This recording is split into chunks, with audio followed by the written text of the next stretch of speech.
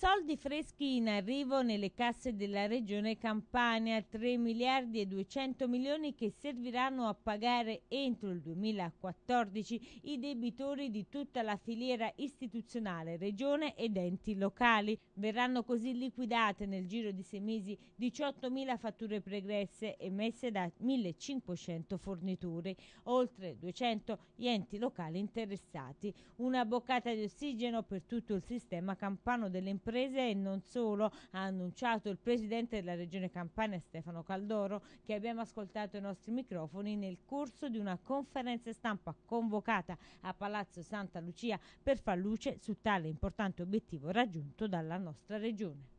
Sì, sono 3 miliardi di liquidità quanto mai immessi nella regione Campania, significa imprese, significa cittadini, significa chi non è stato pagato per tanti anni, che ha situazioni di credito verso la regione e verso gli enti locali, perché noi diamo anche risorse ai comuni con questa misura. Tutta regionale, voluta dalla regione, di una situazione di virtuosa perché ci sono risorse che noi paghiamo come debito ma per coprire un debito commerciale, significa 3 punti di PIL tanta ricchezza che mi auguro possa generare nuova ricchezza, che venga reinvestita e non tenuta ferma in,